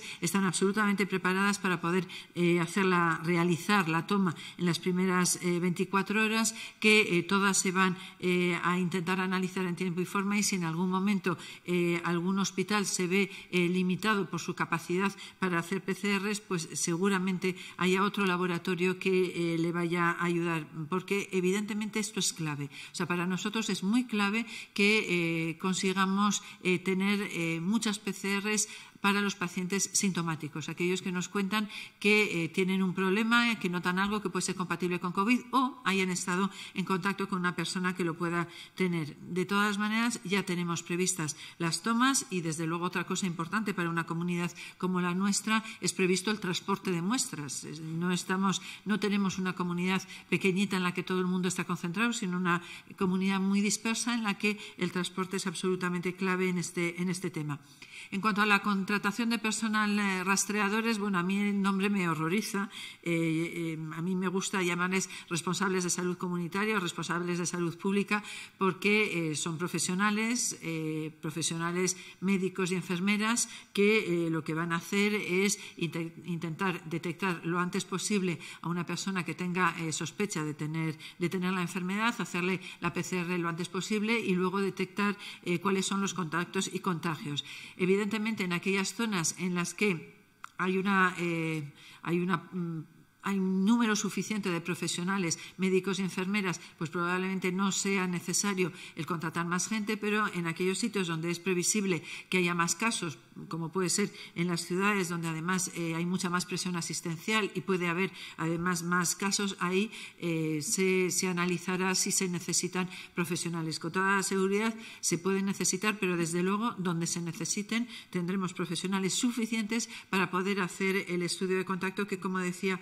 para nosotros es muy clave eh, detectar lo antes posible, hacer la PCR, saber si en ese momento aislar a esa persona y hacer el estudio de, de contactos y eh, bueno, poder eh, tomar las medidas lo antes posible, porque es lo que nos permitirá, eh, si lo podemos hacer y lo hacemos bien, pues aunque pasemos a fase 1, fase 2, mantenernos en esas fases, aunque haya contagios. Y evidentemente esto lo tenemos que hacer de una manera coordinada con salud pública y con los epidemiólogos de nuestros servicios territoriales de sanidad.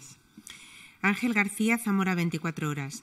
En los últimos días, personal sanitario nos ha hecho llegar una preocupación. ¿Tiene constancia de que a día de hoy se está infectando más personal sanitario en las denominadas zonas limpias que en las sucias? ¿Tienen intención de realizar test rápidos a todos los pacientes que ingresan, tanto de forma programada como urgente en los hospitales, en plantas no COVID, para evitar nuevos contagios entre los profesionales? Bueno, creo que al explicar la estrategia que hemos eh, seguido en, otro hospital es la misma estrategia que vamos a seguir en todos. Es decir, eh, vamos a hacer el análisis de, eh, la PCR a todas las pacientes que lleguen para ingresar en los hospitales. Se ingresarán según el resultado, se tendrán de alguna manera mantenidos en los sitios más cómodos que los podamos mantener en tanto cuanto tengamos el resultado y se decidirá a qué tipo de planta va, independientemente del motivo eh, por el cual ingrese. Es decir, que esto eh, es la intención, no, es la intención, es una de las premisas que tenemos para la, desescalada en los hospitales. Eh, en cuanto a si en el personal sanitario hemos visto incrementado, esto desde luego no lo hemos percibido. A, a día de hoy tenemos ya el 54% de los trabajadores que han sido testados, el 6,8% han tenido PCR positivos y 8,3% con PCR más test. Es decir, y no hemos eh, visto en las últimas semanas eh, ningún incremento ni en sucio ni en limpio. Eh, de hecho, pero de hecho estamos muy atentos. seguimos haciendo las pruebas y el ideal y el objetivo que perseguimos es en breve tener al 100% de los profesionales testados. Óscar Rodríguez, Agencia EFE. Conocido el estudio de seroprevalencia, vistas las cifras de Medora de la última semana y la inevitable relajación el paso de fase puede significar para los ciudadanos, ¿cómo de cerca ve la consejera ese paso atrás y vuelta a la casilla inicial del confinamiento del que han hablado desde que comenzó la desescalada? ¿Cuánto ha pesado el estudio de seroprevalencia en las propuestas realizadas por Castilla y León para pasar a fase 1? Bueno, no, ha pesado, empiezo por esta última, no ha pesado absolutamente nada porque hemos tenido el, conocimiento de los resultados de seroprevalencia al mismo tiempo que teníamos, eh, la, eh, que teníamos la reunión con el Ministerio. Esto ya lo teníamos preparado bastante, de bastante antemano, con estudios muy, muy sesudos a la hora de, decidir quién pasa, eh, por qué pasa, cómo son sus tasas, cómo es su situación. lo hemos analizado tanto que hasta hemos hablado con equipos de atención primaria, centros de salud para eh, estar absolutamente seguros de que lo que estábamos haciendo era lo correcto. O sea que, en principio, no ha pesado nada. Tiene, tiene un peso, porque tiene un peso ahora mismo no para la decisión ni para las decisiones, pero nos indica lo que nos indica y nos sigue indicando lo que ha dicho anteriormente el vicepresidente y portavoz, que es eh, seguimos considerando que la prudencia es importante. Estamos en un contexto en el que no ha pasado, no hemos pasado mucha gente, eh, no hemos pasado la enfermedad, por lo tanto, no pasarla, eh, si volvemos a tener un rebrote, pues deja desprotegida a un, a un montón de, personas. Si lo que nos ha pasado es todo lo que nos ha pasado con este 7,2%, pues si realmente eh, tenemos un repunte y ese repunte en vez de ser un, un 7,2 es un 30%, pues realmente vamos a tener eh, mucho dolor todos y cada uno de nosotros. Eh, yo sigo pensando que pasar de fase no debería de significar eh, la necesidad que tenemos de prudencia. Pasar de fase es simplemente que hay una serie de cosas que podemos hacer, pero siempre, siempre, siempre con las medidas de eh, contención social, las medidas de distanciamiento social, la higiene de manos y la mascarilla cuando no lo podemos, no, eso no lo podemos controlar, pero eh, es evidente que es muy importante, sigue siendo muy importante la prudencia. Y ahora mismo que ya nos vamos acercando que estamos mejorando, que hay, que hay luz eh, al final del túnel, es el momento de que lo hagamos todos muy bien. Pero tampoco olvidemos que esa luz, como yo decía eh, ayer, es una luz con nubes, porque esa luz eh, sigue teniendo el COVID. El COVID sigue estando entre nosotros. Probablemente se quede agazapado, pero va a seguir estando entre nosotros hasta que no haya ni tratamientos ni vacunas. Por lo tanto, eh, no se lo pongamos fácil, se lo tenemos que poner muy, muy difícil. Y eso significa que tenemos que aplicar todas las normas de prudencia para que, aunque pasemos de fase 1 no tengamos que retroceder. Eso sería, yo creo que muy, muy terrible para todos. Carolina Tabanera, Cadena Cope. Reunión hoy de la ministra Cela con las autonomías para preparar la vuelta al colegio ya en septiembre. Teniendo en cuenta que los planes de regreso a las aulas se desarrollarán atendiendo a criterios sanitarios, ¿está trabajando ya su departamento en medidas que garanticen la seguridad en el retorno a los centros o están a la espera de que el Gobierno marque las pautas? El Gobierno marca las pautas, es decir, tenemos que estar a la espera del marco que determine el Ministerio y en el momento que lo tengamos, desde luego trabajaremos con nuestra Consejería de Educación. Álvaro Hernández, Cadena Ser. En estos momentos, ¿cuántas camas habilitadas de UCI hay en la comunidad? ¿Se contempla que en estos días se vayan quitando camas de las UCIs extendidas ante el descenso de los pacientes ingresados? Bueno, eh, todos los días analizamos las UCIs, todos los días miramos las posibilidades que tenemos para eh, intentar dentro del hospital ir normalizando.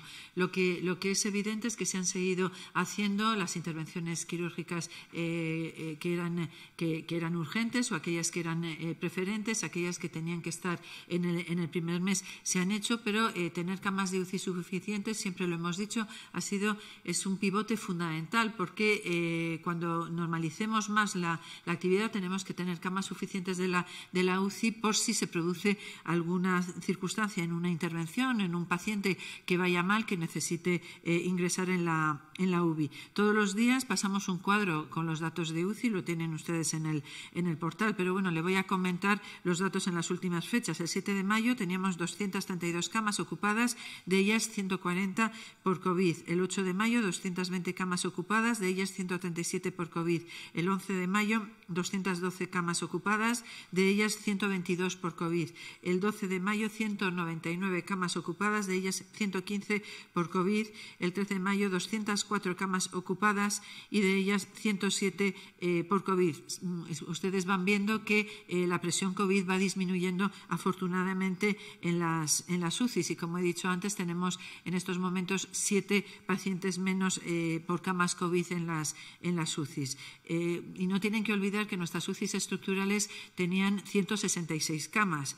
Por lo tanto, eh, seguimos teniendo alguna UCI en la que tenemos una tasa de ocupación por encima de lo que venía siendo normal antes de, la epidemia por COVID. Beatriz Más, Diario de Ávila. ¿Cuántos positivos por PCR ha habido en Ávila Capital en los últimos 7 y 14 días? ¿Qué valor?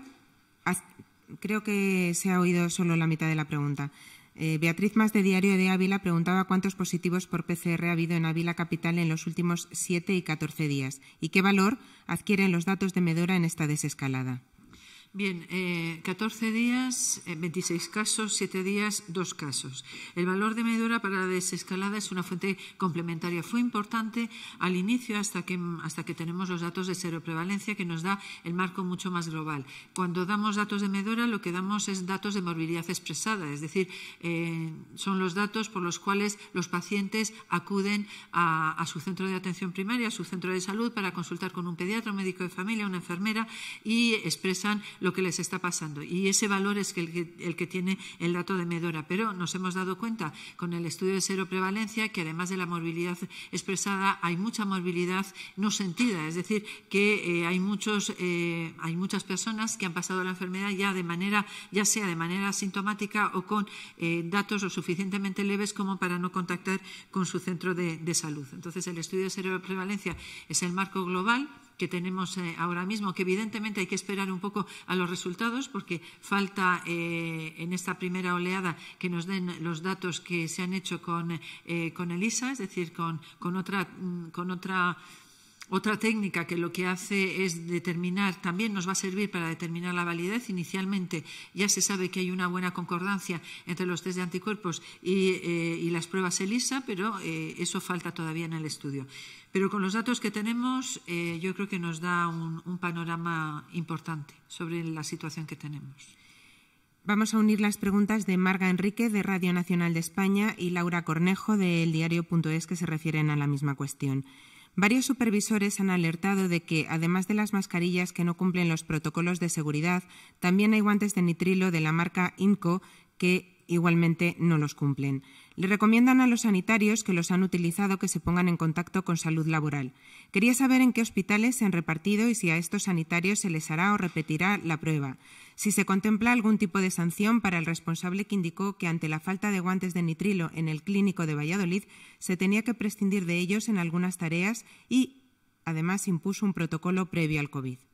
Bueno, en principio, en relación a esta última pregunta, eh, se ha solicitado y me consta que ya se está haciendo una actualización del protocolo en la circunstancia en la que estamos actualmente. En cuanto a si hay guantes de esta marca y si cumplen la normativa vigente, yo quiero decirles que todo lo que hemos distribuido tenía certificado y tenía homologación. Otra cosa es que, eh, bueno, veamos que a lo mejor eh, con el uso la calidad no sea la que a todos nos gustaría, pero estos guantes han tenido los certificados de eh, en 455 guantes de bueno en 455 guantes de uso sanitario eh, ha sido el test eh, era, era, libre de agujeros. Eso, eso que parece una tontería es importante porque lo que determina es el grado en la que se nos rompen los guantes y por lo tanto nos pueden poner en, en problemas. Y en 374, 5 protección contra microorganismos y virus. Están repartidos en los, complejos asistenciales de la comunidad y, por supuesto, eh, se hace seguimiento y eso lo recomiendo siempre. Todos aquellos profesionales que creen que han utilizado material de protección que ha sido, que consideran que es insuficiente, por favor, se pongan en contacto con los servicios de prevención de riesgos laborales. Félix Villalba, El Mundo de Soria. El estudio de seroprevalencia confirma en sus resultados preliminares que Soria es la provincia con mayor incidencia del virus. ¿Cómo valora ese dato? ¿Cuántas recetas electrónicas se dispensaron en, en abril, mes completo de confinamiento, a ciudadanos de otras comunidades en Soria y el resto de provincias? Bueno, eh, en Soria tiene mayor inmunidad, pero la inmunidad, aún siendo eh, la más alta de toda España, sigue siendo muy insuficiente. Como hemos dicho antes, para tener una inmunidad colectiva, para estar, sentirnos todos un poco protegidos, deberíamos eh, estar entre un 60 y 70%. El número de pacientes atendidos se ha incrementado en un 72%, pasando de 17.005 a 29.265. El incremento se concentra principalmente en las provincias de Segovia, Ávila y Soria. Entonces ha habido un aumento de dispensación de receta electrónica entre los periodos señalados y el número de pacientes. Felipe Ramos, El Mundo de Valladolid. Siete meses después de haber llegado de Wuhan, de participar en los Juegos Militares, Sanidad sigue sin ponerse en contacto con las personas que allí estuvieron, pese a que a su vuelta enfermaron con la sintomatología clara de coronavirus, solo que se les diagnosticó una gripe. ¿Se han puesto ya en contacto con ellos? Si no es así, ¿cuándo tienen previsto hacerlo? ¿No cree que es fundamental realizarles las pruebas para determinar si pasaron el coronavirus, porque eso significaría que el virus ya estaba en Castilla y León desde el mes de noviembre? Bueno, con el ejército estamos en contacto, eh, además eh, de manera muy cercana a través del CECOPI, que es el órgano de coordinación entre la Junta y el Gobierno. En ningún momento se nos ha comentado nada de este tema. Hemos realizado pruebas a todo el personal a los que se nos ha solicitado en la UME, Guardia Civil, policías, por ser profesionales que se han considerado esenciales o con más riesgo de, de contacto. Se les ha hecho seguimiento también a los contactos por parte de los equipos COVID. Pero esta situación por que usted me pregunta ni la comunicado, ni la han puesto de manifiesto ni a los servicios de, epidemiología ni a través del CECOPI. Y si esto es así, pues estoy segura de que lo harán. Sí, a ese respecto sí que me gustaría decir que, hay que confirmar que, que la D del COVID no es de diciembre. Sergio García, Soria Noticias. No sé si ha tenido oportunidad de ver los datos del registro civil ofrecidos por el Tribunal Superior de Justicia de Castilla y León. Sé que esos datos no son responsabilidad directa de su consejería, pero como médica y por su cargo, usted ha sido consciente, minuto a minuto, de la situación que hemos vivido en Soria. Por eso quiero preguntarle su opinión sobre el hecho de que durante el mes de marzo solo se registren tres fallecidos COVID y trece sospechosos en Soria, un total de únicamente 16 fallecidos COVID, teniendo en cuenta que en ese periodo hay 150 fallecidos más que en un marzo normal. Usted misma me dijo ayer que el registro de la Junta recoge 52 fallecidos COVID en marzo en Soria. ¿A qué cree que pueden deberse estas diferencias en las estadísticas? ¿Qué dato deberíamos de tomar como correcto a la hora de contabilizar los muertos por COVID en Soria en marzo? ¿Los 150 muertos de más? ¿Los 52 del registro de la Junta? ¿O los 16 del registro civil? Bueno, vamos a ver. Eh, algo que nosotros hemos eh, reiterado y repetido en múltiples ocasiones era que nosotros queríamos que el registro civil diera datos. ¿Por qué? Porque consideramos que es la eh, fuente primaria, es donde se recogen todos los certificados de, de, defunción. ¿Por qué puede haber diferencia? Pues depende del sistema de registro que nosotros utilicemos. El sistema de registro que se utiliza de fallecimientos que hemos utilizado, probablemente en algún momento hubiera alguna sospecha de que alguien pudiera tener el COVID pero no eh, la certeza de que la muerte se estaba produciendo por esa sospecha de tener el COVID. Es decir, no es lo mismo eh, morir por COVID que morir con COVID. A la hora de hacer un certificado de función se, extrema mucho más eh, la, manera de notificar y probablemente esto es lo que hace que, que, sea así. Es decir, las tres cifras son verdad. El exceso de mortalidad censoria del año 2020 respecto al año anterior es así. Los 52 fallecidos registrados por la historia clínica electrónica y la base de datos de tarjeta sanitaria los recoge, pero a lo mejor, como le digo, puede haber una sobreestimación. Y los 16 que el registro civil identifica en marzo son causa cierta de muerte por COVID. Entonces, eh, sigo reiterando, eh, yo he agradecido mucho este, este, estudio del registro civil porque lo demandábamos desde, de, desde, el momento uno, porque nos parecía que era un dato muy importante, que los fallecimientos eran muy importantes, que los fallecimientos no son números, son personas, son seres humanos y lo que necesitábamos es una fuente primaria. Y a pesar de eso, nosotros hicimos el esfuerzo desde la Dirección General de, de Sistemas de Información de seguir investigando los temas, buscando otras fuentes, porque no nos valía simplemente el dato del hospital y la PCR, porque nos parecía que eh, estaba infradimensionado el dato y así se ha visto con la publicación de los datos del registro civil. Iniciamos a partir de este momento un nuevo turno con las preguntas que han planteado los periodistas durante la rueda de prensa y que recordamos posibilita una pregunta por medio. Álvaro Hernández, Cadena Ser. Para el vicepresidente. El alcalde de Valladolid se ha quejado esta mañana en la SER de que no se ha reunido con la Junta mientras que está manteniendo reuniones con el Gobierno a través de la Federación Española de Municipios y Provincias. Además, pide que se valore ya la próxima semana que Valladolid pase a la fase 1 porque considera que cumple los criterios. ¿Comparte el criterio de que Valladolid está preparada para pasar a la fase 1 de la desescalada? Bueno, a este respecto sí me gustaría recordar eh, que el consejero de presidencia ya informó de que había llamado en tres ocasiones al alcalde de Valladolid eh, sin conseguir, sin éxito. Eh. eh, yo no, no, le he llamado porque me tiene bloqueado, pero eh, sí que recibo llamadas. Me, me llama el alcalde de Burgos y cuando me llama me pongo. Si no me llaman, a mí me gustaría que los alcaldes se dirigieran a nosotros a través de los medios oficiales y no a través de los medios de comunicación. Es una manera más racional eh, de comunicarse, porque hay gente que, que, si yo no me pongo al teléfono, pues, pues luego puedes decir en la prensa lo que te parezca, pero prueba primero a llamar por teléfono. Con respecto a cómo está Valladolid, Valladolid está mejorando, mejorando sus cifras eh, día a día y esperamos que pronto pueda pasar, pero Valladolid, Zamora, Burgos, León, Soria, Segovia, eh, pasarán cuando cumplan los criterios eh, necesarios, o cuando nosotros pensemos que podemos eh, mejorar o rebajar los criterios si la situación epidemiológica así lo permite. Cristina Domínguez, Sagún Digital.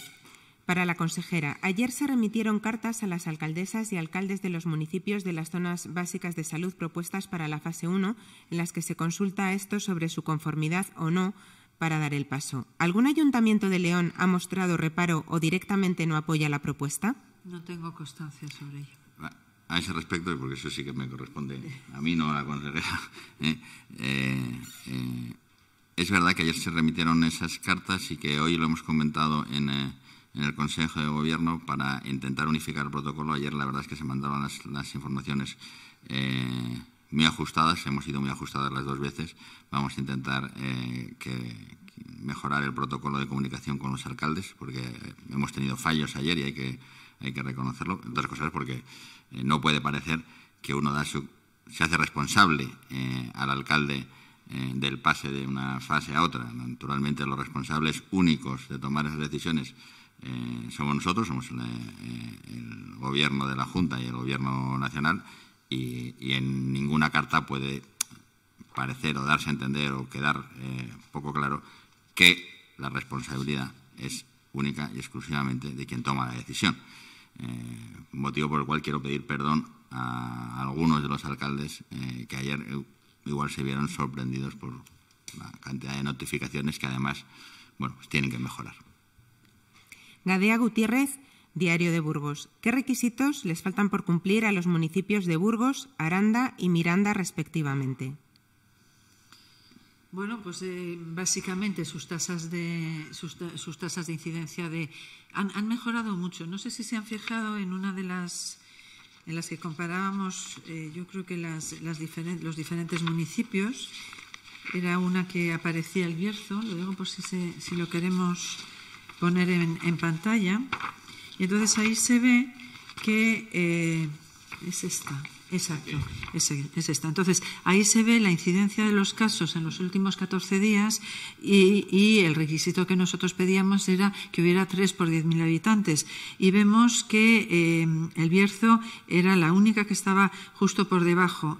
Salamanca eh, tenía una buena a los 14 días, pero tendría que cumplir también el de los 7 días, que era eh, igual o inferior a uno. Entonces, eh, cumpliendo estos dos, hay más criterios, tal y como he dicho a, priori, pero para explicar esto, aquí en esta tabla se ve bien, es decir, el Bierzo tenía menos de 3 y menos de 1, y por lo tanto el Bierzo sale como, zona completa. El, resto, Miranda, Aranda, tienen cifras muy parecidas a las de Burgos. Y eh, yo aquí también quiero dar un, mensaje de, tranquilidad. Tenemos buenos datos en los últimos siete días. Si seguimos trabajando todos en los contagios, si seguimos trabajando todos en hacer las cosas bien, pues probablemente pues este 1,9 baje por debajo de 1 y, entonces, bueno, pues haya muchas más zonas a las que podamos proponer. Vamos bien, vamos bien, pero hay que ir muy, muy seguros, porque si damos pasos en falso podemos retroceder. Entonces, estos son los datos. Manuel Herrera, la opinión de Zamora. Los datos señalaban desde el principio que la provincia de Zamora tenía menos contagios que el resto de la comunidad.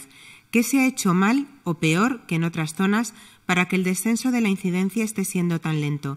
¿Prevén la salida del grueso de la región para el día 25? Eh, no, no, prevemos el, eh, el, grueso de la región que salga de una manera eh, unánime. Prevemos seguir manteniendo los criterios. ¿Sobre qué se ha hecho mal?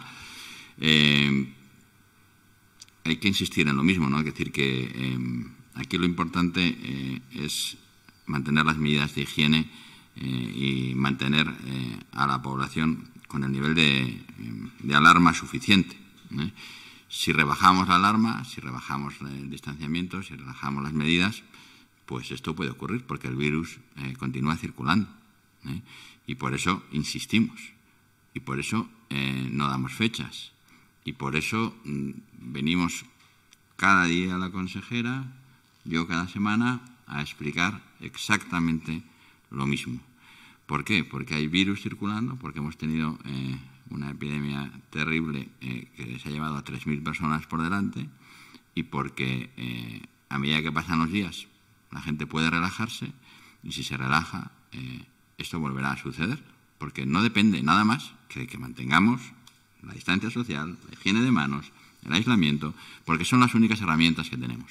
No tenemos ninguna otra herramienta. La Junta por decreto no puede acabar con el virus. La Junta poniendo 200.000 médicos no puede acabar con el virus. La Junta no puede acabar con el virus El virus acaba si conseguimos acabar con la transmisión. Y la transmisión acaba si mantenemos el distanciamiento, las medidas de higiene. Eso es lo que tenemos que hacer. Por eso insistimos, por eso le decimos a la gente que se comprometa, por eso diseñamos una estrategia en la cual la gente se ve en un mapa, ve los casos que tiene y, intentamos eh, que colabore en ese esfuerzo, que está haciendo un esfuerzo magnífico por parte de la inmensa mayoría de los ciudadanos, la inmensa mayoría de los representantes locales, pero si nos relajamos, esto puede suceder en Zamora, puede suceder en Valladolid, puede suceder en León, puede suceder en cualquier lado. Javier Fraile, Salamanca24horas.com. Acaban de dar las zonas de salud que han propuesto para fase 1 y sorprende que en Salamanca entre la zona de Peñaranda, cuando no ha registrado ni siquiera en siete días cero casos. Ahora mismo, según el portal de la Junta, registra 12 enfermos en las dos últimas semanas y seis en los últimos siete días. Todo lo contrario, por ejemplo, que Ledesma, que cuenta con cero casos en siete días y solo uno en 14 días. Entonces, ¿cuál es el criterio para incluir a Peñaranda y no a Ledesma? Bueno, Peñaranda tiene una incidencia justa para entrar, 3 por 10.000 habitantes en 14 días y 1 por 10.000 habitantes en la última semana. Ledesma tiene eh, cifras parecidas, pero no hace suficientes PCRs. Es el tercer criterio, hacer dos PCRs por caso. Y hay que recordar también, en todo caso, que nosotros hacemos un punto de corte, porque eh, cuando hay que mandarlo al Ministerio con la cantidad de sábanas que hay que mandar, pues hay que hacer un punto de corte y el punto de corte se hizo el 11 de mayo. Entonces, el 11 de mayo, probablemente los datos no eran exactamente igual. Para el vicepresidente Isabel Jimeno, ABC. Los empresarios de Valladolid consideran que si se excluyeran los focos de riesgo, en especial los de las residencias, muchas zonas de la comunidad cumplirían y se podría avanzar de fase cumpliendo los criterios de tasas marcados por la Junta, y les piden que lo hagan de esta manera para evitar un daño aún mayor para la economía. ¿Se han planteado tener en cuenta ese planteamiento para avanzar más rápido? Eh, sí, bueno, es decir que he tenido ocasión de leer el comunicado eh, esta mañana y yo agradecería que cuando se redacten los comunicados se redacten con un poquito más de, prudencia, no diré nada más. Con respecto a si podemos aislar a las residencias, los ciudadanos que viven en las residencias en Valladolid son ciudadanos, como todos, tienen sus derechos, como todos, y nosotros no vamos a a diferenciar una cosa de otra. Es verdad que tenemos que tener en cuenta eh, si son focos aislados, si están controlados y puede que esto eh, nos permita tomar eh, algunas decisiones a medida que avanzamos en la estrategia. si vemos que hay focos controlados, a pesar de que, de que no se cumpla el criterio de la incidencia. Pero en cualquier caso, el mantenimiento de, actividad de la enfermedad, el riesgo de las personas, eh, va a seguir siendo nuestra, eh, nuestra estrategia. Y, sí que quiero decir que naturalmente, naturalmente, y eso es una cosa que es una obviedad y supongo la cual está de acuerdo también eh, la Confederación Venezuelana de Empresarios, todas y cada una de las vidas de los ciudadanos de Valladolid y de Castilla y León importa, todas. Adrián del Cura, Soria Televisión, para la consejera y para el vicepresidente también. Según ha dicho, con el estudio en mano, hace que se replanteen que la proximidad de La Rioja y Madrid a Soria y los movimientos de ciudadanos a sus segundas viviendas, que argumentaban como una, si no la principal causa de los contagios en Soria. ¿Supone esto que se equivocaban cuando decían que esa proximidad era la causa del elevado número de contagios en la provincia? Es que si valoramos la posibilidad de habernos equivocado todos los días. ¿eh? Quiero decir que eh, hay una cosa que es evidente. Eh, con una seroprevalencia por encima de las provincias de alrededor, algo más ha pasado. Algo ha pasado no quiere decir de dónde ha venido la, la infección, sino porque aquí se ha propagado más. Tiene que haber alguna, alguna razón y tenemos que estudiarlo. Eh, y tenemos que ver si ha habido un episodio de supercontagio, como ha habido, como hubo, por ejemplo, en, en Miranda. Eh, es decir, que hay, hay, episodios que se llaman de supercontagio, que fue lo que ocurrió en ese entierro en Miranda, que pueden haber sucedido en Soria, que pueden explicar eh, por qué tenemos más prevalencia. Algo ha pasado. Es evidente que no es, no es la mancha de aceite cuando, cuando todo se explica por la proximidad al foco, así entenderlo, pues hay más fuego en Madrid y hay un poquito eh, menos en Segovia y un poquito menos en Soria. Se extiende como un fuego. Cuando en alguno de esos sitios hay más fuego, pues o ahí había un bote de gasolina eh, o ahí había algo eh, que produjo ahí un incremento de ese fuego. Y eso es lo que tenemos que intentar conocer para, para, poder explicarlo. Pero vamos, desde luego, si la pregunta es si, piensan, si pensamos que nos hemos equivocado a lo largo de estas semanas, mm, Bueno, pero a lo mejor en esto no tanto. y voy a decir por qué. Eh, vamos a ver, sí que es verdad que Soria está, estaba, por un lado, muy cerca de La Rioja y había muchos casos, y por, y por otro lado, en Ávila. Todas las razones son multicausales, es decir, no hay una sola razón por la que pase, pase esto. En Soria hay un porcentaje de residencias importante, hay un porcentaje de ancianos importante, hay un porcentaje de personas de fuera de Soria que iban a visitar a estas personas. Eh, bueno, todas esas cosas pueden haber sido la razón. Pero hay un dato que nos hace pensar también que ha habido una movilidad a Soria importante y son las recetas electrónicas. El comentario que he hecho, que he hecho antes. Hay tres provincias que han tenido muchas más recetas electrónicas de pacientes desplazados de Madrid. Y eh, concretamente en Soria han tenido una variación del 91,38% de variación de personas que antes residían en, en Madrid y que durante este tiempo han estado sacando sus recetas en Soria. Por lo tanto, hay muchas variables. Es decir, ¿Cuál? Pues, eh, hombre, nos equivocamos si decimos que solo es una. Hay muchas causas que pueden explicar esta, esta situación y, desde luego, por ejemplo, en Segovia es del 167,8%. Óscar Rodríguez, Agencia EFE. Vicepresidente, ayer hubo un reconocimiento desde otras comunidades y también en el ámbito nacional sobre el acercamiento de posturas políticas en Castilla y León. Visto el debate de ayer en el Congreso entre el presidente del Gobierno y el líder del PP, ¿Dónde está la diferencia? ¿En qué dirigente político ve menos disposición al acuerdo? ¿Seguimos a garrotazos? No, no, me gustaría hacer eh, de comentarista aquí, pero sí que eh, creo y yo eh, creo que esta comunidad tiene que sentirse orgulloso de muchas cosas, pero una de las que más es de, bueno, pues del nivel de acuerdo y de consenso en esta situación eh, entre gobierno y oposición. Y yo creo que eso no puede ser imposible eh, en el gobierno de nuestro país. Y yo creo que todos los ciudadanos eh, de este país esperan de sus dirigentes políticos que en esta situación sean capaces de vencer los pecados de la política, la soberbia, el enfrentamiento y piensen en sus ciudadanos. Y yo le pido al presidente de mi gobierno y a los miembros de mi partido y a los miembros del partido con el que gobernamos aquí en coalición, eh, que piensen que esta, y lo hemos dicho esta mañana, lo dije ayer, que esta es una de las horas más difíciles de nuestro país y que nuestro país mm, merece algo más. Leticia Sánchez, Castilla y León Televisión para cualquiera de los dos. ¿Les parece precipitado la publicación de los datos preliminares del estudio de seroprevalencia? Algunos expertos así lo señalan. Bueno, eh, vamos a ver, el estudio de seroprevalencia era tan esperado eh, que cuando se tienen datos son datos preliminares y, lo tenemos que tomar como, tal. Decíamos en el, al inicio, tanto el vicepresidente como yo, eh, que faltan de incorporar los datos de estudio de la seroprevalencia a través de un método de, de inmunoensayo que es el ISA y que es un poco mejor que los datos que se han utilizado. Pero también es verdad que inicialmente se había testado estos dos métodos y, parecía que había una cierta concordancia interna. Eh, mm, bueno, eh, son datos preliminares. Desde luego no es un dato final.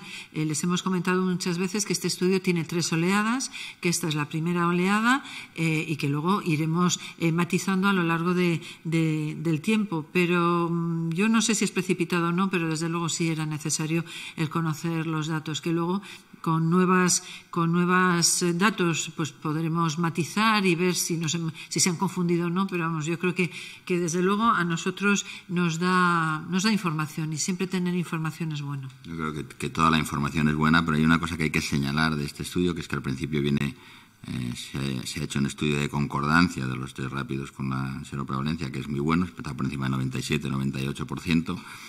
Eh, eso hace que sea poco probable que vayan a cambiar esencialmente los datos eh, en la segunda oleada, puede que cambien los datos en algún sitio, hay algunas cosas que son inexplicables y yo sí que estoy deseando ver pues la segunda parte de lo que ocurre en La Rioja, que hay algunas cifras que son eh, un poco sorprendentes y, que decir que igual puede ser un problema al hacer los test y que cuando vengan los análisis ELISA, pues eso cambie las, las cifras, pero, pero desde luego toda la información nos viene bien, todos estamos aprendiendo sobre la marcha y necesitamos la información ya porque estamos tomando decisiones ya. Javier Hernández, La Gaceta para la consejera. Eh, le pide que, puesto que ha comunicado las PCR positivas en Ávila Capital de los últimos 14 y 7 días, nos ofrezca las de la capital de Salamanca. Bueno, pues de todas las sábanas que tengo aquí, tengo un montón. Esa no la tengo, pero se lo hacemos llegar. Eugenio de Ávila, el día de Zamora. ¿Pueden ser más específicos qué requisitos no cumple Zamora, ciudad y el resto de la provincia? Pues mire, aquí en la pantalla está puesto, en los últimos 14 días hay más de 3, hay 4,5 eh, PCRs positivas eh, por, por 10.000, con lo cual eh, ya no cumpliríamos, pero también en los últimos 7 días tampoco, tampoco se cumple. Eh. Por tanto, solo con eso sería, sería suficiente. Insisto que, que nosotros eh, tratamos a, a, todos los ciudadanos por igual y que tenemos el máximo interés en que avancen todas las provincias. Yo creo que estamos que está yendo bien, pero, pero nos, vamos a sujetar a los datos. Dos últimas preguntas. Una de ellas es para la consejera en una línea de lo que acaba prácticamente de decir. Eh, Cristina Ortiz, del Correo, ¿pueden detallar la incidencia de casos en Miranda en los últimos 14 y 7 días? No, pues la incidencia de Miranda, y mira que la traigo todos los días, hoy no la he traído, pero se lo hacemos llegar. Y Sergio García. Quiero decir sí. que eran muy parecidos a los de Burgos. ¿eh? O sea, sin una visual muy, muy rápida, eran muy parecidos a los, de, a los de Burgos, pero se los hacemos llegar también. Y Sergio García, de Soria Noticias, para el vicepresidente y portavoz. 12 de marzo. Cerca de un millar de agricultores de toda la provincia se concentran en Soria para pedir mejoras para el sector. ¿Eso puede ser el caldo de cultivo de un supercontagio? Si es así, ¿es responsabilidad de quien lo organizó, de quien acudió o de quien no lo prohibió? No sabemos, tendríamos que tener una, eh, un estudio de seroprevalencia de esas personas, saber cuántas han infectado, cuántas no. Es una de las cosas que, habrá que mirar.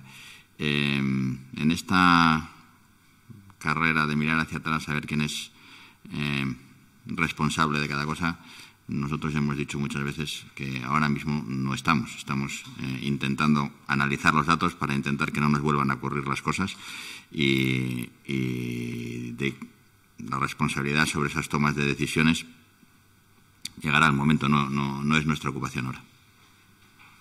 Pues finalizamos aquí las preguntas. Muchas gracias. Muchas gracias. Cuídense mucho, por favor.